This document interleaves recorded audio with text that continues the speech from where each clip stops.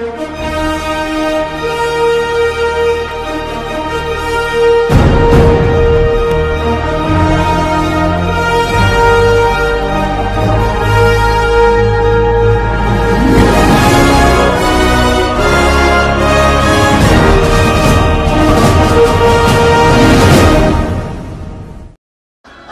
guys!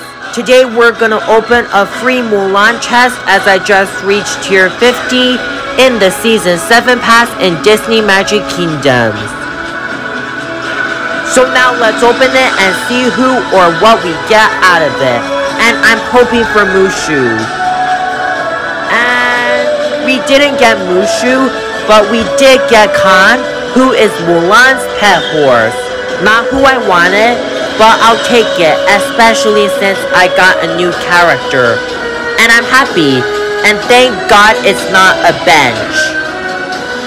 Now here he is walking out of the chest vault, and he looks so gracious and tough. Anyway guys, I hope you enjoyed this video. And if you managed to reach tier 50 in the season 7 pass like I did, then please tell me what you got out of the free Mulan chest in the comments. Thank you all so much for tuning in, and we'll see you guys next time.